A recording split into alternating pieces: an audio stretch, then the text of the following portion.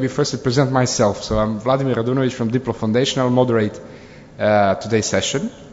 And let me briefly just introduce what we are going to do in the next four days, because the orientation session will take place at the same place, hopefully with more, more relaxed arrangement in the next days till the end of the IGF. So today, we'll firstly try to map how the IGF is structured. So when you take a look at the program of the IGF, which is very complicated, number of colors and uh, very visual, it's quite hard sometimes to know which sessions you need to follow, especially if you're first time here. What is the one, what is the main session? What is the focus session? What is the workshop? What is the flash session? Where should I go? 10 sessions at the same time. So try to decode that and listen to some of the experiences of people. How did they manage to go through the IGF? And of course, check with you. What are your experiences if you have any? Then today we are going to uh, go into the background, into the history of IGF and, and, World Summit on Information Society. So how did the IGF emerge? Uh, what were the political circumstances and the context around it? And then we'll try to map what is the mandate of the IGF and what are the stakeholders, which is, by the way, one of the big discussions at the IGF also this year.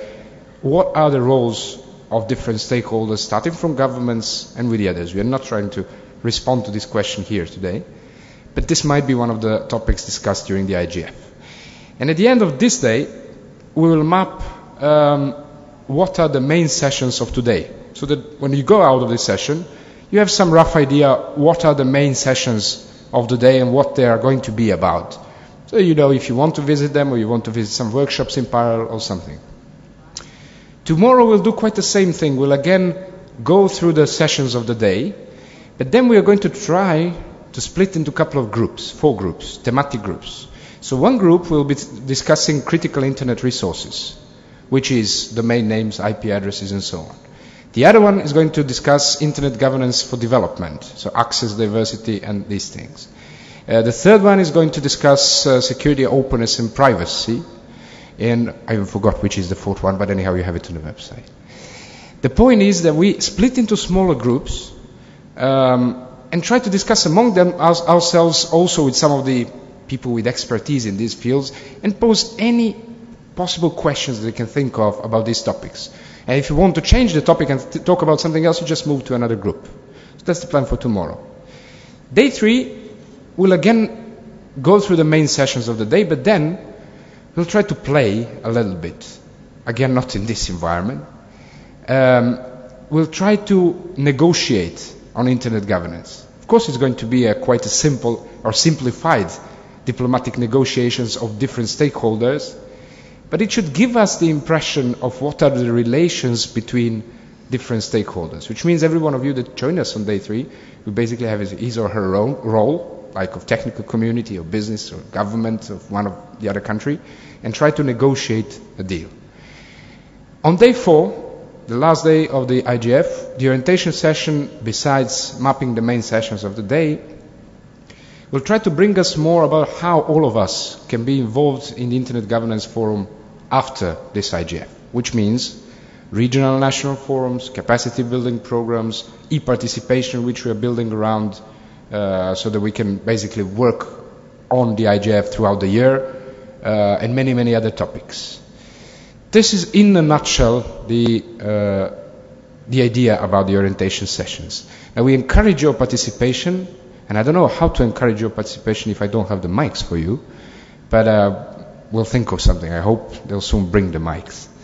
Okay, to start today, um, we wanted, as I said, to try to map uh, how does Internet Governance Forum work and what are the different types of session? How do we find our place in these four days? Where do we go? Which room? What do we listen to? Who do we listen to? Uh, since since I don't have the way to get the response from you, I'll ask for your hands now. How many of you, for how many of you is this first time at the IGF? Raise a hand. Great. Majority. Excellent. Um, the others that are here might help us, that, that have already been at the IGF, might help us to, uh, to share their experiences later. And uh, there is a couple of people here which I will definitely ask to, to bring a little bit of how this should work. But before that, uh, Brian from the IGF Secretariat is with us here.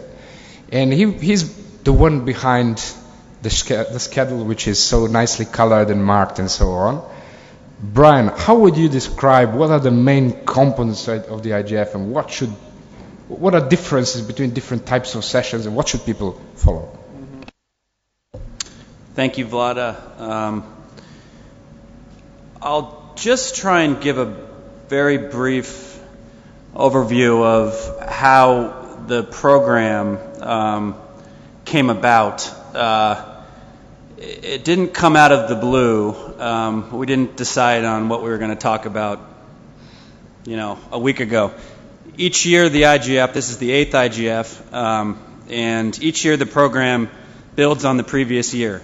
And a lot of the work of the Secretariat, together with the the MAG, which is the Multi-Stakeholder Advisory Group, um, which is charged with developing the substantive uh, program each year, um, is to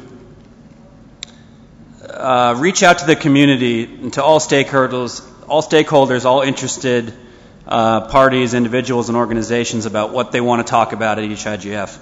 Um, so after last year's meeting in Baku, uh, we immediately made a call, public call.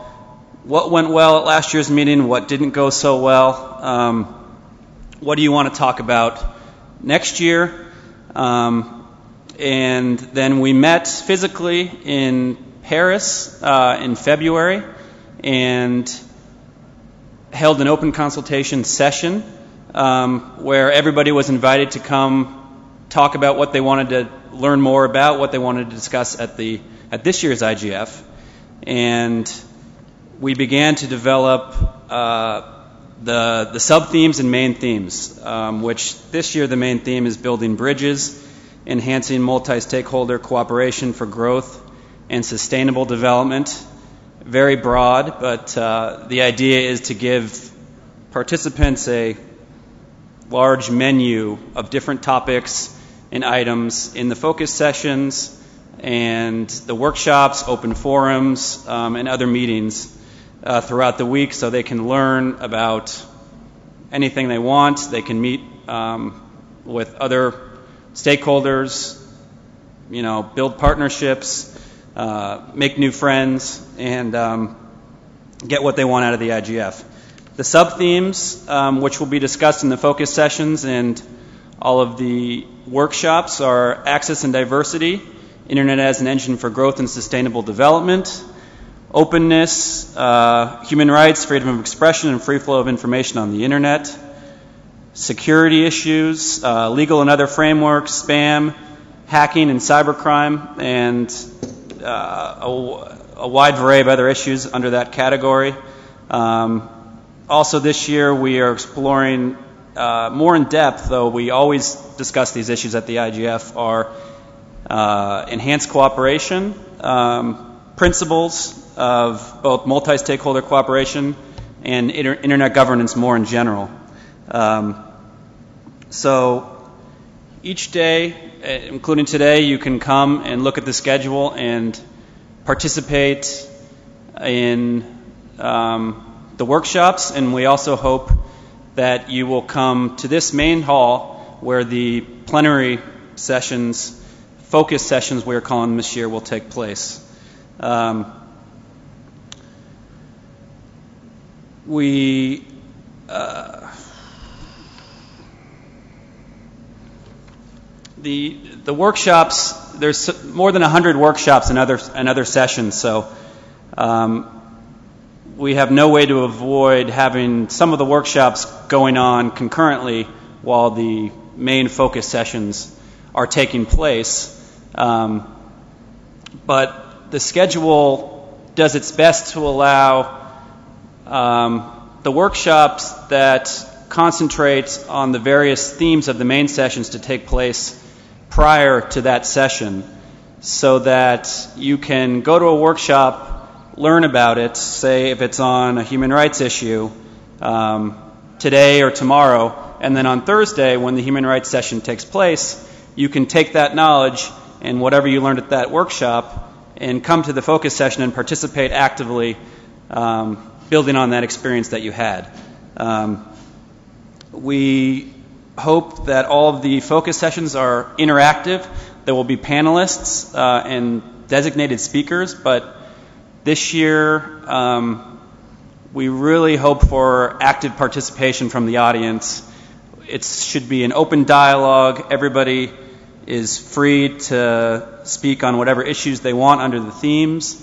Um, in addition, I think we can talk more about remote participation, but that is a huge um, value added of the IGF is our remote participation platforms. Each of the workshop rooms, as well as this room, um, will have remote participation, which enables anybody from around the world who is connected to actively participate. We'll have panelists uh, participating remotely and speaking on different issues um, who weren't able to travel all the way to Bali. Um, and we hope to allow all of you and everybody participating remotely to um, get some real tangible takeaways from this IGF, um, to learn, to share experiences and best practices, and to take them home with you. So that, that's our intention as a secretariat and as a MAG, and uh,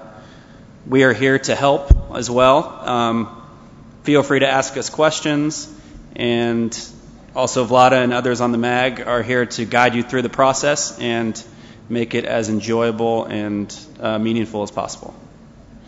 Thank you, Brian. You can move here. We have roaming microphones finally. Um, okay, so about the remote participation, there is one interesting thing that you can also do is you can follow another session from one session. So if you're here, you can follow another session at the, at the same time. Some people do that, believe it or not. I don't suggest that because you can't be focused really on, on, on one of these, but you can give a try. And you've seen the remote participation platform, which also you can share. Um, there is an, it's, it's, on the website and so on. So for any of your friends, colleagues here or anywhere else around the world, invite them to join. And as Brian well said, basically um, the idea is that we all get very active about the IGF. So it's not about listening, it's not about observing the IGF, but discussing it. And trust me, all of you know very important bits and pieces that the other do not know. So don't be shy. Just jump in, raise a hand, uh, put your opinion on, and so on. Now, I wanted to check with a couple of people that, that had some experience with the IGF. I'll start with Igor. Remember the time when you came for the first time to the IGF? Uh, were you confused? How did you find your way through? How do you find what you want to listen? Hi, good morning, everyone uh, Igor Ostrovsky. I'm also a MAG member, and I do remember the first time I arrived. And the, the main confusing thing was that I thought I'm seeing a lot of sessions that look alike, and I thought that um, there is no coordination um, done on the level of topics. And then uh, later on, only when you look closer, you notice that actually, uh, when you see firsthand, yes, there might be sessions that look identical, um, but when you go into descriptions, you'll see that they describe different angles or sometimes different approaches. We at MAG try to combine sessions or encourage those who submit um, proposals for sessions to work together and to try to, um, uh, let's say, combine topics where possible. But very often we see that um, it makes sense to leave those sessions separate. So it does make sense not only to look at that um, at this description, but to click into the IGF website and look in detail about the, uh, the description and the participants, the panelists. Um, so, so although a lot of people might think that there is chaos and that there is a lot of topic, topics here, there, and everywhere, there's actually an order to it that I would encourage you to look into. It's not that easy to see the order, but there is an order. That's yes, true, yeah? exactly. Definitely. And he mentioned a very important thing is, uh, we, I think we are going to discuss it more on day four also, which is you can impact the agenda of the next IGFs as well. Uh, the point is to, even to, during this IGF, there will be open microphone sessions. You'll find them in the, in the schedule. Take a microphone, say what you think, say what should be discussed next year, or even this year, or between the two IGFs. Um, Brian, do you want to add anything about this, this part of building the, the, the program and, and other things? Quickly, also, um, refer to the IGF website homepage. Uh, we agree it's not perfect, but there you can find all the information you need about uh, this week's program. Uh, the program paper, um, which you will see there, outlines the, the, the, entire preparatory process and the different sort of sessions that will be taking place. Uh, the session notes are the detailed agendas of the all the events that are taking place in this um, main hall throughout the week, um, and the schedule, uh, which is printed that some of you have here already, um, has actually been updated since this was printed. So make sure you refer to the schedule that's on the website um, throughout the week to get the most updated information, and that organizes all of the events under the various themes so that you can find um, what you want. So that's a, a good, important reference to have. Thank you, Brian. Any questions from any one of you? Anyone who has been at the IGF wants to share the, shortly the experience of managing through the, the schedule? Nena. Thanks. Hi, people. As Brian was speaking, um, I want you to look at this. Um, if you can read, I'll read it for you. It's Master Program Sheet NINA. This is my IGF in the IGF. Um, the thing, like they were saying, is that you can get in here and get lost. So you must follow up. Um, the most important thing is that you know where you're going and how you're going about it. So between, actually, I have local travel check-in in Abidjan, airbound. Um, I have all the dinners. I have all my lunchtime planned. I know where I'm going, and it's fixed and I know when I have free time. So I just want to share that with everyone. Um, it's still day one today, so you can sit down and make your own program and know where to be. You must check to know if the rooms have changed. You must keep updated and um, arrive before time. Don't go in very late so that people do not overwhelm you. So my, my, my the experience I'm going to share is be prepared, make a program for yourself and the other thing is, check the list of participants and know nice people you want to hang out with, you want a photo opportunity with, and just people you would like to meet. If you would like to meet me, hey, come on up. Thank you, Nana. Yeah, but this is serious. I mean, the, the IGF requires for all of us the preparation to know what we want to do there. And one of the worst things about the IGF is it always happens at these so nice places but you're so overwhelmed with activities and things to do, especially if you prepare and so on, and you don't want to break your schedule, your own one, and so on, but you should find some time for, for fun as well. That's, that's also true. Any other comments about the experiences of the IGF or any questions from the newcomers about the types of the sessions, what you should listen to, and so on? You can raise your hand even after if you, if you think of something. If not, then we'll move to the next part, which is um, going through how the IGF emerged so what happened at the World Summit and what was the political context of these times? And then we'll try to listen to a couple of different stakeholders, but also some of you. What are the positions and what are the, uh, well, basically the, the, positions of the stakeholders about different issues and so on. Uh, Jovan, you were involved in the WSIS and, and, working group on internet governance since the beginnings. How would you?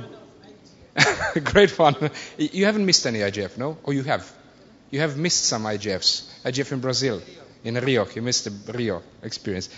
Share with us. Okay. Thank you, Vlada. Good morning. I just realized that I cannot invite uh, Nena for lunch these few days. She's overbooked. Uh, it's great to uh, meet you all. Um, and uh, as Vlada suggested, I will try to squeeze ancient history of the IGF and WSIS in about five minutes. And it's a part of the, my life story. Uh, when I uh, joined the first uh, WSIS and internet governance, I tried to explain working group on internet governance, and Wolfgang was at the group as well. I tried, tried to explain to my wife what I was doing, and she said, "Well, that's very, very strange." And then I tried to explain to my friends, and uh, they said, "Jovan, uh, my printer doesn't work, or I get new software. Can you come to install it?" That was the awareness about internet governance 10 or 15 years ago. Now it has moved, and now people are asking more reasonable questions. But on more serious note, uh, let me just give you a quick survey of what has happened over the last, let's say, 30 years. As you know, IG started bottom up with academic and professional communities in the United States. It was a, a, a sort of circle of engineers with a very uh, relaxed way of governing the, uh, at that time, the internet, very early internet. Uh, later on, uh, the first complexities were introduced, mainly DNS. I'm now simplifying, not oversimplifying, and they needed some sort of governance. Therefore, some sort of loose structure started appearing. And in the 90s, internet started becoming important academically, uh, economically, and the first elements of the need to more serious governance were, were, were, were needed. And in the late 90s, you have the uh, whole development about ICANN. ICANN was established as a, some sort of early DNS battle between this early internet community, business community, trademark community, and various players. Now, what is important for us, for IGF and World Summit on Information Society, governments realized in the late 90s, early uh, uh, beginning of our century, that something important is happening in this field of the internet. And they started moving into the internet, early internet governance discussions. This was one process. The other process was, if you can recall, in 90s there were many conferences, conferences on population, Rio conference on climate, uh, on the sustainable development. There were conferences all over. There was Copenhagen on the on the uh, what was Copenhagen on the human rights, Cairo conference on the population. There was there was some sort of fashion of organizing major UN events. Therefore, ITU came to the, uh, to the idea at the, the Minneapolis uh, Plenipot meeting to organize conference on the ICT. And this is how the idea for the World Summit on Information Society came into, into, the, into, into the reality. The first summit was organized in 2003. It was a unique summit because it had two events, a Geneva event in 2003 and Tunis event in 2005. Therefore, during these two events, internet governance emerged on the diplomatic agenda. Previously, it was completely hidden. Therefore, 2005 in Tunis, uh, there was some sort of Tunis compromise between two views, which are still um, existent, uh, uh still existing today. One view that internet should be governed through mainly um, non-governmental um, processes, or later on multi-stakeholder processes, and the other view that internet, like any other issue, climate change, migration, should be governed through intergovernmental process. Therefore, uh, Internet Governance Forum was created as a, as a compromise between these two views, and the part of the compromise deal was that it is part of the UN, it is organized under the UN umbrella, but it is not typical UN process. It is a multi-stakeholder, very informal, very bottom-up process. And this is uniqueness of the Internet Governance Forum. Both uniqueness and also weakness in way how it is, how it is managed. Therefore, you have a challenge and you have risks. And this, you should keep in mind when you're analyzing, when you're following what's going on in Internet Governance Forum. Therefore, this is inbuilt element in the, in the architecture of the IGF, that compromise between two different views. We have had eight IGFs in the meantime, what was happening in real life, uh, th- there has been enormous explosion of the uh, internet governance developments. We got Facebook, Twitter, uh, um, almost 2 billion users.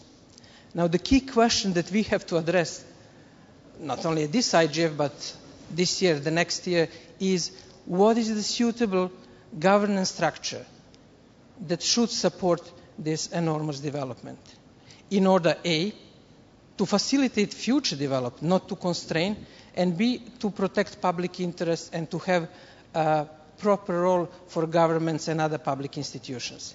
Therefore, we are in a way revisiting Tunis discussion about this compromise, but in different contexts. Therefore, this is a short history, uh, short ancient history of the Internet Governance Forum, and also background uh, for understanding where are we now and what is the underlying theme to discussion that we will be facing because you will be you will be following many discussions, but you should also know what is the underlying dyna- dynamics and what is the history, how we came to this point today, and how these all discussions are influencing what we will be discussing at the IGF next three days and throughout the, this year and the next year in trying to shape the future Internet Governance Forum. And we should keep in mind that that new architecture should keep vitality and what is good from the Internet governance since, uh, since its early days the open, uh, open process, bottom-up process, involvement, creativity, while adding this layer of protection of the public interest uh, in uh, its various forms on national, and international level. Thank you, Jovan. Um, when we are talking about uh, the, uh, oh, you can just leave the microphone side. Uh, I think Peter has a microphone already. Uh, when we're talking about the, the, the IGF, uh, some people, I hear it often, well, they say the IGF is not a negotiation, negotiating body, so we can't have anything out of it. But we have a bunch of people which are just gathering and talking about and so on. Uh, and this dialogue between, between uh, uh, stakeholders, I, I figured out after a number of years that in fact this is a negotiations. It just lasts for much longer than sitting around the table and negotiating the paper. But I think Peter has, has a lot of experience with, with this kind of multi-stakeholder negotiations, not only within the IGF, which is a long process, but also within the Commission for Science, Technology and Development of, uh, of UN, uh, which is in a way in charge of deciding on the future, or on possible reforms of the IGF and so on. Uh, Peter, what are your experiences? Why do we meet here? Is it just a traveling circus around the world, or? Good morning. Uh, why, why, do we meet here? I don't know. Probably it's dedication, uh, adventure, uh, experience. Uh, I, I, would think it's, it's a unique experience. When uh, the first time I came here, I was just amazed. Why? Because uh, the approach we are having here is completely different whatever you may experience somewhere else meaning that you can approach some ministers if you wish to, you can approach uh, parliamentaries, you can talk to CEOs, whoever. I mean, on, a, on, an equal footing. So this is a unique opportunity for you to, to do that. Now, uh, I, I, think uh, there is some truth in saying that in spite of the fact that it's not a negotiating forum, uh, we are still negotiating. We are taking inputs from all stakeholders, and it's extremely valuable. Uh, in a negotiating environment, probably people start uh, talking uh, in a very uh, United Nation-like language, uh, which sometimes doesn't really convey the real meaning. Here it's more relaxed and you can have the real information how people think about different issues. And there are a lot of issues. Well, uh, to, to make your life a bit harder, uh, after all this information you have received up to now, uh, I would like to add some more. Though I, I have been told that uh, in a good presentation you, you can't concentrate on more than three items. Uh, and up to now, I think you, you have already had about 10 or 15. So I don't want really to increase the confusion, but it has been already said that in some way the, uh, it is under the umbrella of the United Nations, IGF itself, though it is apart from the United Nations. However, it has already been said that as for the future of the IGF, it is the United Nations who is going to, to have its final say. Why do I say so? As you know, this is the eighth event of the IGF. We have started in 2006. Uh, there was a renewal of the mandate, which was for five years. And this is the second five year, and we hope that the, the IGF is going to continue beyond 2015. 2015 is the magical year where we have a kind of review of the whole process, including IGF. Uh, there has been some mention of the World Summit of Information Society. We are going to have the 10th anniversary of the World Summit of Information Society in 2015, meaning we are going to have this evaluation and uh, hopefully the renewal of the mandate of the IGF, which is going to continue. Uh, having said that, whatever the outcome will be of the review, we know that the IGF is uh, uh, something which has uh, contributed to other processes uh, on the national regional level as well. So uh, you may hear about national and regional IGFs uh, which are flourishing. And you have it everywhere. You have in Asia Pacific, you have in the States, you have in Europe, in Africa, in different parts of Africa. Uh, so uh, the IGF, whatever the, the issue, uh, the outcome will be of the review process, is going to continue, but we hope that the global one will be also renewed. So uh, uh, just as a, conclusion, I really recommend you to make use of your stay here, not only going to the beach, but uh, as well approaching some people you may never have opportunity uh, in your private life to approach. So this is something extraordinary, and I'm always fascinated when I come here. Thank you. Thank you, Peter. Note the special emphasis not only to the beach, which doesn't exclude the beach, right? Sometimes. Now, when we are talking about this process, uh, Markus Kummer uh, from the IGF Secretariat is here with us. And uh, the question is now we see uh, the flood of events around the world. We have seen the cyber conference. We're hearing about the possible new conference in, in Brazil next year. There is a number of fora. Why should we choose the IGF? Or should we choose just the IGF? Or how, why should we be here and contribute to the IGF? A small correction, not secretariat anymore. I used to be, but now I'm interim chair of the preparatory process. Well, I think Peter gave the answer to this question to a large extent. Let me face you guys. Uh, on the one hand, there is a link to the United Nations. The meeting is held under the auspices of the Secretary General. The Secretary General of the United Nations convenes the meeting. That gives legitimacy to the meeting, to many countries who, for instance, uh, fail to see legitimacy in any other meeting when it's not convened by the United Nations. And at the same time, the IGF is as open and inclusive as possible. Anybody who has a legitimate interest is welcome to participate. And this is more than most other meetings.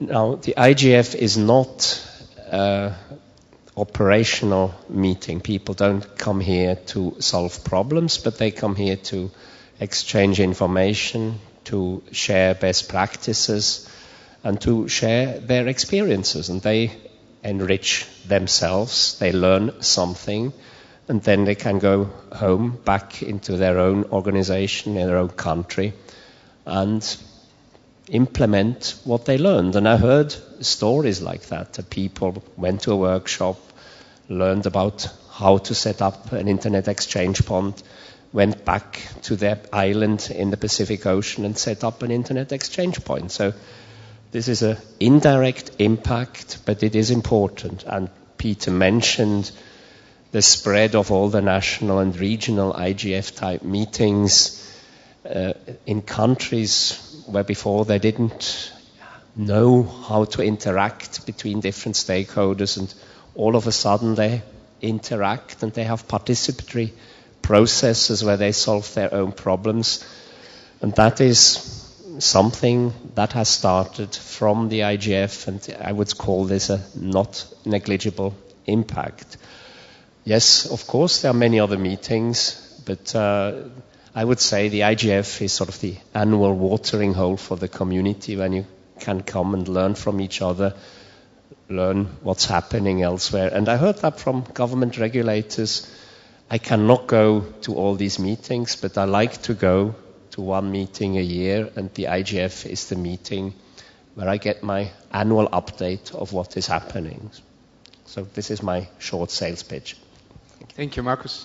Uh, the, confusing, the confusing thing about this, we mentioned that this is a process which provides a lot of exchange of information, but it's also kind of a, on a long-term a negotiation process about the future of the internet. But then we have a bunch of different stakeholders, and this issue about stakeholders and what are the stakeholders and who are, so to speak, the legitimate stakeholders or not, or who do you represent and how, is, is quite an open question and discussed around. I wanted to check with you now again um, how many of you represent civil society here or feel like you represent the civil society? Okay, quite a number. Uh, government, any government representatives? Okay. You're grouped somehow over there. That's interesting. Uh, business or corporate sector? Couple of, probably the fewest. Okay. Technical community? Some, some are raising the same hands, I see. Okay, that, but that's, that's good. Many hats. Yeah, so, somewhere many hats. Is there anyone who is coming from the media as a kind of a, a TV or journalists or bloggers or something like that? We can say the media. One, two. You have many hats, Nena. Three. Okay. So academia, for instance, uh, the universities, research centers, and so on. Researchers. Researchers. Okay. So there's a number of hands. So I see most of the. I mean, many of you do have do wear a number of hats. So how do we really say what are the stakeholders and then understand their needs and their interests and their positions and so on? Yesterday when there was a high level meeting, it was very good to see that we have different stakeholders on the main panel on the high level meeting. Even though I was a little bit maybe uh, not surprised, but uh, I thought it should be mixed and not have one by one the government and technical community and business, then civil society. But I'll, I'll mix it now here. I'll start from from corporate sector, for instance. And Tero is here with us, who is representing the business sector. So Tero, why are you here? I mean, you, the business people, what do you find interesting in, in IGF? Except the beach. Except the beach. okay. Uh, so very good morning for everybody. I'm, I'm Tero Mustala from Nokia Corporation in Finland. And um, pity, I, I was trying to say the beach, but, but Vlada took that out. Anyway, why to be in IGF? and why, why business is present in IGF. I think it's that we feel that we are part of the, let's say, the multi-stakeholder community, which has been actually repeated already this morning many times, and I, am afraid you hear the same word many, many times during this week. But uh, then maybe some words, what is the business, or which is also called as private sector in, in some of the documents and I guess in some of these meetings during this week. So naturally, uh, business is the big corporations uh, like the IT companies, the internet service providers, the mobile operators, uh, vendors for those companies like our company. But it is not only this side, it's also the smaller companies, other companies who make e-business, which I think everybody here also know and, and have been working with, and including each and every small business. In nowadays, if you think about the internet and, and some kind of business, you can't actually do any business if you are not present in the internet. Almost everybody has own website, at least, if not having any, any let's say, e-commerce or anything like that. So it's internet is nowadays really part of all economical activity. So we feel that that uh, business or private sector has the role here, and, and we really believe on this multi-stakeholder model. So to have everybody with, with equal footing have the possibility to discuss and exchange ideas with the other parties, and, and because this is the way we increase the understanding of the issues the issues in internet are in many cases they are complicated. They may have the regulatory aspects but they also have the technical aspects and business aspects. And and to be able to evolve the internet we need the understanding of all these sides. Then just a couple of words how, how actually the private sector in IGF is organized. We are very much organized around the International Chamber of Commerce, ICC, which has a special group looking after all these internet governance issues. And naturally, it's open to all the, the businesses and ICC members. And, and, really, this is the group in, in the business committee who is trying to focus and, and, take care of these issues and take the responsibility to be part in the, in the IGF discussions. Thanks, Vlada. Thank you, Tero. Uh, remember him. So if you see him on the corridors and you need to get linked with someone from the business society or ICC or whatever, uh, you can always approach him. He, I'm sure he's, he's going to help. Yes. Hello, good morning. Um, my name is Ana Lucia Lenis. Um, I'm the policy counsel for the Andean region in, in, for Google. Um, so I just want to add some uh, comment about the idea of uh, private sector. And sometimes when you think about what means private sector or the companies, people think in the big companies. But uh, I think it is important to think about the small or the local entrepreneurs that we have in our own countries doing businesses online and how the regulation will impact the uh, development of these local businesses in our different countries. So sometimes uh, uh, I'm, trying to uh, to have conversations with this group of local entrepreneurs that are working and doing a lot of amazing applications, local content in our countries, and maybe they should be involved in this kind of debates in the future. Thank you. I think this was this was really a, a, good good comment. That usually we really think about business, the big corporates and so on, which is included, but it's not only that, of course. Uh, so it's important that, that small and medium enterprises and entrepreneurs are also involved in this. Now, moving on to civil society, for instance, and Wolfgang is with us. Well, you're also the academia. You also have two hats. Um, I'm interested, uh, to one extent, talking about the business and civil society do have a lot of different positions about the IG in many issues, but on the other hand, they cooperate a lot for fighting for multi-stakeholderism and so on. So why, the, why is the civil society here, and do, do we really think we can do something here? Yeah, thank you. Thank you, Vladimir, and good morning to everybody. Um, indeed, all the stakeholders involved, all the four stakeholders, technical community, civil society, governments, and the private sector, have a different profile, but they have something in common.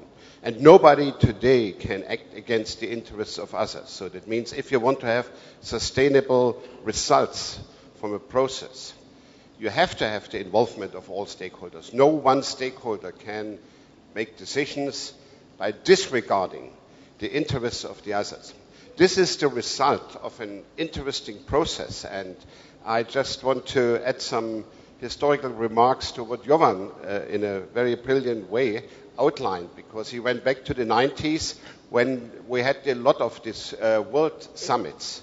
I was involved in the World Summit on Human Rights in 1995 in, in Vienna, where this summit was a purely intergovernmental meeting and all the civil society and human rights groups were in a separate building in the basement, and they had no access to the intergovernmental negotiations. So that means you had different badges, and there was a, you know, a counter, and you could not go to the real negotiations. That means you could make some noise in this basement, but you had no access and no impact to what happened in the big room when the mandate for the World Summit on the Information Society was drafted, I think governments realized that they cannot do it alone.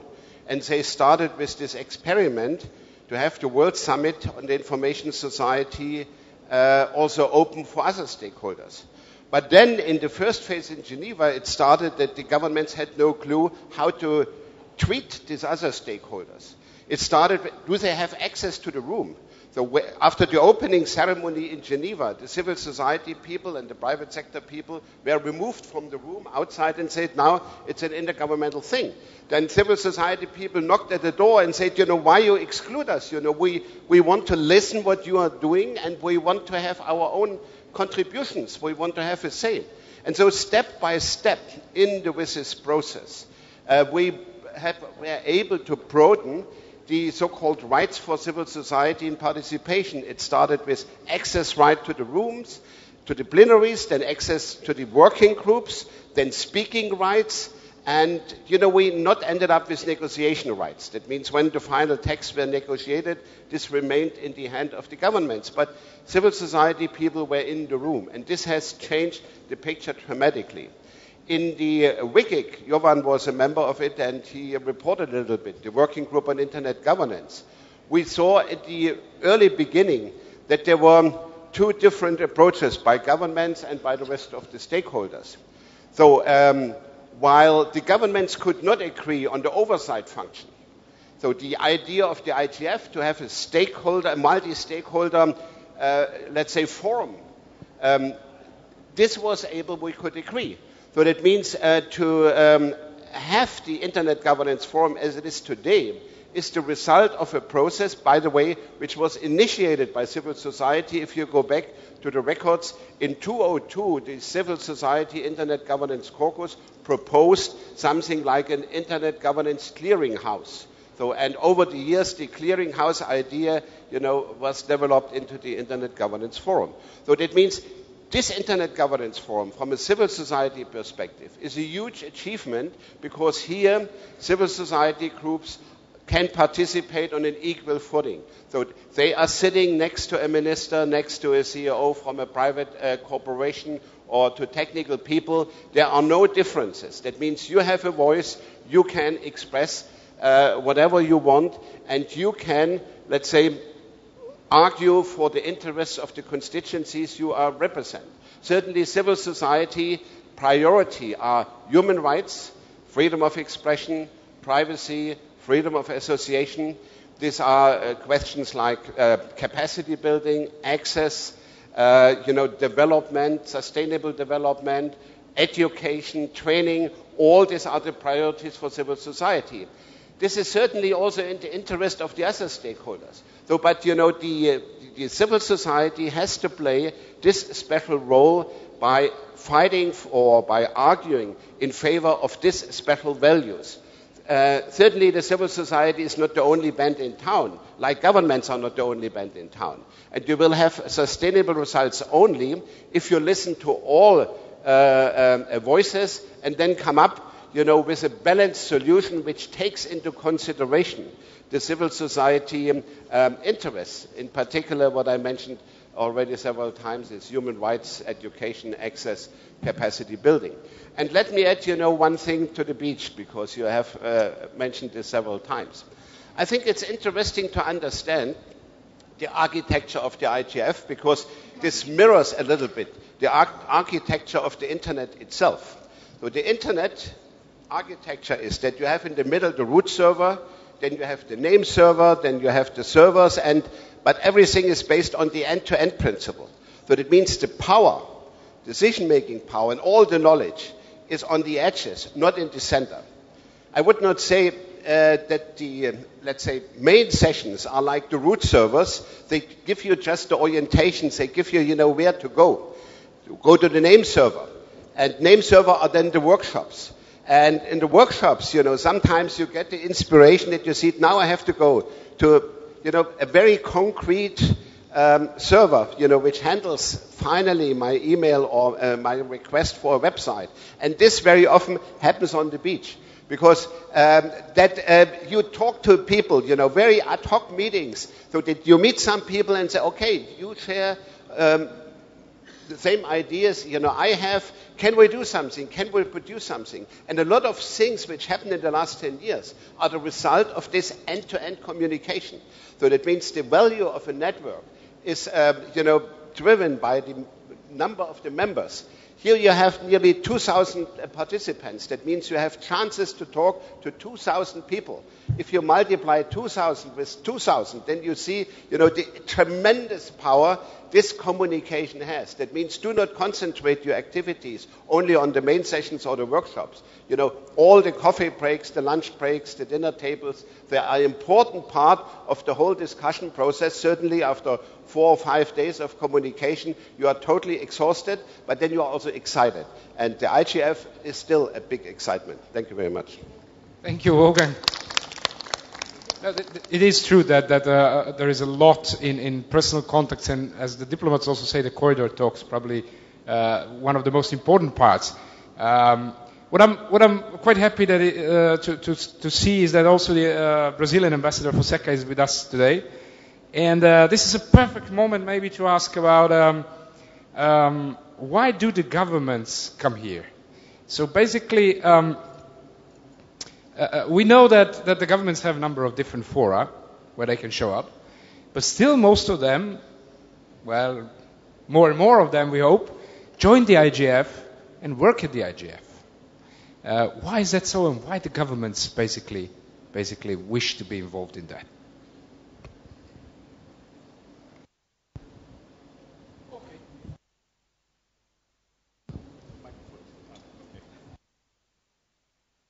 Well, uh, thank you. Thank you very much. Uh, well, uh, in a very short answer, I would say that we view IGF as a meeting point, meeting point of people, of ideas, and a place for cross-fertilization of, of ideas, exchange of information. My government attaches uh, value to IGF. We see IGF performing a function, a role that is not uh, fulfilled by any other institution we have. Uh, and actually, we have hosted the second IGF in 2007, and we are proposing ourselves to host uh, IGF 2015. So my, the attachment of the Brazilian uh, government uh, in the appraisal for this exercise is uh, very firm. Uh, I'd like to also to touch on one point you mentioned before, which is the relationship between IGF and other processes regarding internet governance. And just to confirm uh, that from our point of view, all those processes are very important. Uh, at this very moment, we are discussing within the General Assembly context on, on how, uh, whether there will be a high-level event in 2015 or late 2014 for an overall review of the outcome of the implementation of WSIS, uh, marking the 10 years of, of WSIS. So this is a very important discussion for us. Uh, of course, we also have the working group on enhanced cooperation within CSTD, which is also a very important process we want to pursue since we, in our view, and we know there are different views, uh, the concept of enhanced cooperation has not yet been fully implemented and this is something we want to discuss also with all uh, partners, uh, stakeholders, how we can move forward in that direction. Uh, I would mention there are a variety of other fora. Uh, indeed, uh, I just read a figure that there are over 85 uh, processes for dealing with internet governance, and we, we think each of these has a, a particular role and we attach importance to all, all of them. Uh, in synthesis, we think IGF also represents and may be the seed for a new paradigm of international cooperation. Uh, as a professional diplomat, I'm used to go to meetings, and as you have said, we have. I worked at the UN in, in New York, so the, the kind of meetings we have there, we have intergovernmental discussions. At, at the end of the session, you have maybe five or ten minutes in which civil society representatives come forward and, and make their inputs. And it's a moment in which most decisions have already been made, and the, those interventions are, I would say, even hardly heard because people are already doing something else and finalizing the reports. So it's not, let's say, the, the UN traditional context, which has, of course, its value, its its importance, uh, I, I, think is not fit for internet. This is something that we are convinced as a delegation. We have been doing this internally in Brazil. Uh, the Brazilian Steering Committee, which oversees uh, the daily operation of internet, is a truly multi-stakeholder model. So we are very comfortable in uh, endorsing the concept that at the international level regarding internet, we also need a new paradigm, and this would be the multi-stakeholder model. How we can uh, draft and have the outline of this is, of course, a very complex exercise because we are talking about different cultures, I would say. The intergovernmental process, the uh, uh, self-regulatory agencies process. So it's not an easy task how to reconcile uh, this and, and to draft a structure that will allow, uh, at the same time, to take into account governmental concerns and to have significant uh, input and participation from all other stakeholders. But this is an exercise that I think IGF, as I, as I have said, is a seed for that. Maybe it shows a way. It, it has been highlighted, it was born within the UN context. So Uh, I am very optimistic that since that has taken place within the UN, we can be creative enough and bold enough to engage to new forms of cooperation. And my government is fully prepared to, to embrace this and work with all other governments and stakeholders to, to that end. Thank you very much. Thank you, Ambassador. Uh, thank you for, for the encouraging speak. Um, I think it's really important to hear from, from the governments which do have some experience, and Brazil is one of those who has the experience also on the national level about the multi-stakeholder model. So I'm sure we can learn a lot from, from Brazil and many other cases. Uh, we have uh, Ana Neves with us also, also, who is from the government of Portugal. Um, and Ana, what would you say? I don't know, the mic is somewhere over there, I'll give you mine. Okay. Uh, Ana, how do we get more governments involved, or do we have enough governments at the IGF? How do we get them more involved, and, and why should the governments be here? Uh, hello, good morning. Um, well, I think that governments are not fully engaged um, on, on this movement. Uh, it's a pity, uh, but they don't understand this process. It's not working? Ah, okay. I should talk like that. Uh, so I, I was saying that governments, they don't understand the process. So um, they are not fully engaged. Uh, we have several countries here, of course, but uh, as the Brazilian ambassador was, was saying, there are a lot of um, indefinitions, lots of things that for the governments, uh, it's a bit to waste their time to be here. It's not the case of the countries that are fully engaged at ICANN and uh, ITU processes and uh, United Nations processes and more that under- they want to understand what internet policy is and what means uh, internet governance. So these countries that want to understand what internet governance is, these countries they are fully engaged and they have to be here because it's not only the technical community, it's not only uh, the civil society uh, that will change the paradigm. We need the government to change the paradigm even if you don't want the government to make rules um, and standards and other things, you need governments to make aware all the society that internet governance should be a multi-stakeholder process and why and what does that mean and who, who are these stakeholders and how they should compromise and how they should compromise with the government and um, this dialogue has to be made at national level, regional level, and international level. But still, uh, the voice uh, of the governments is not well heard here because does it make sense to have a minister here today? For me, it would make sense but for the ministers, it, it does not make sense because they would be wasting their time. Y- yesterday, we had a high level meeting with ministers. Well, ministers, they, they stayed for the, for the afternoon uh, uh, workshops. They were involved in the, in the discussions. No. So it's up to the, to the public, to, to, to, the, to the civil servants, as, as, as I am, uh, uh, to, to, uh, to do my job and to go back home and to explain, explain, and explain, and to organize uh, uh, different meetings involving uh, all the stakeholders I think that are needed in order to engage governments. So I'm not defending the other stakeholders because I'm from the governmental side, uh, but uh, I think there's a problem of governmental uh, engagement here. And there's a lot of misunderstandings as well.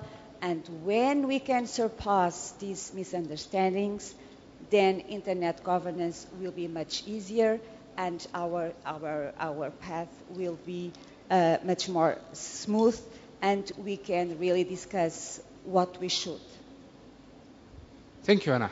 I think it was, it was really precious to hear that, that it's not only about the ministers. When we talk about the governments, we usually want to see only the ministers, but it's not only about them. It's a lot about the structures beneath the ministers that should basically convey the message and bring the whole process into, into uh, discussions on local level. Thank you, Ana. Uh, the, the last, so to speak, the last stakeholder, and then we close this part, we're coming close to the end of the session, um, is a technical community. And if I remember correctly, the technical community was not initially mentioned in, in uh, Tunis agenda, but was added later on. Uh, but it is really dominant because we have uh, all these acronyms, TCP, IP, and the IXPs and so on, and we don't really know what it is, but the technical community does. And then on the other hand, we have, of course, CSTD and the IGF and the ITU and so on, which are the political bodies. A lot of, lot of acronyms, how to manage. We even had to prepare a, a glossary of acronyms for people to, to be able to follow that.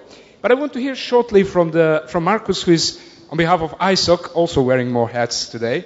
On behalf of ISOC, why is the technical community here and why is it distinct from, from others?